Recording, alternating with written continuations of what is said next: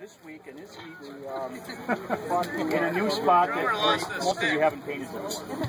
And um, so I'm very impressed with what you what you came up with here in, as far as your efforts. I mean, they're just really good paintings, all of them. It's very difficult for a judge to, to, edit those down. But I, I want to applaud all of you for the great efforts.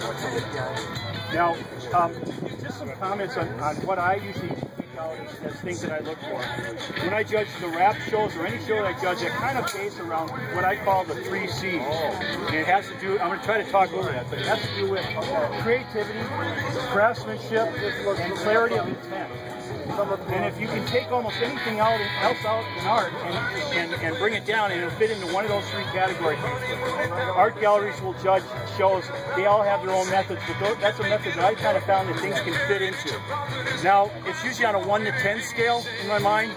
And um, and mm-hmm. it, just think about it this way. If you have like a 10 on creativity, let's say it was a really fantastic work of art as far as its creative output went. Maybe it's something I've never seen before, anyone's ever seen before. That gets you a 10, okay? Now you add craftsmanship to that. If it shows that you understand your medium, I don't care what it is.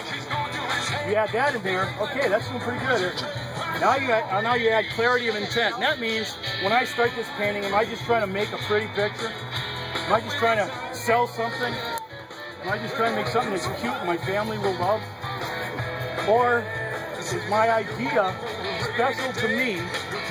Is it something that means something to me? They always say like when you're a writer, write about what you know and what you love. As a painter, you should do the same thing. No matter what anyone else says. Really. And then look through. And look through. Now, everyone that I picked here today rates high on at least two of those. Okay? I understand this is a plein air event. You're not in your studio, you know, drinking your wine. So understand your your your creativity might be fixed a little bit. You're, you're into a subject matter that you have to deal with. But still, that creativity comes into another form then. It can come into composition. There are some here that I picked almost for that very reason. The one I picked from Gail, Frankie here. You look, the one, well, you guys know it, but her tree line's way up here. It's all fields.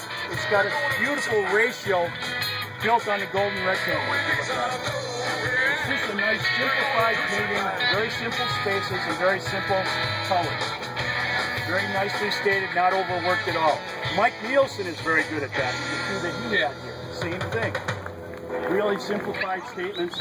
Nice color, nice color.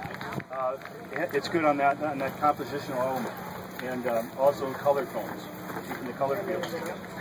Um, some of the others I just did. Reason I'm, we should always talk about the first place one, I guess.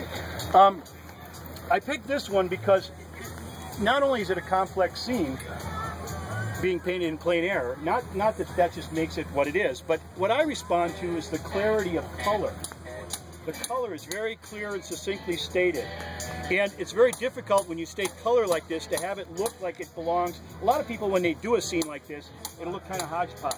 Some colors will bounce way forward, some come way back. They'll kind of bounce all over. And when you squint, you'll see that. They call, I call them anomalies. But when you look at this thing, it, it holds together beautifully.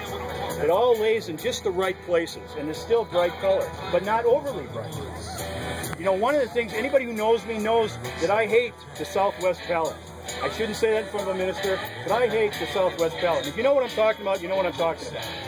Okay? Everything's phthalo, everything's bright orange, all the shadows are blue. Don't care about thinking about them, looking at them. They're just blue, purple, orange, yellow. You know what I'm talking about. But when you paint in the Middle West, you have to have a very sublime color sense. It is much harder to paint in these latitudes than it is to paint down south. They got it easy. We know how to paint. Okay? So if anybody has any questions at this point about why I picked what I picked, I'm based on that. Anybody want to ask me anything? I'm just losing my voice think too much So what you, what do you uh, any questions? Okay, well thank you. Nice show.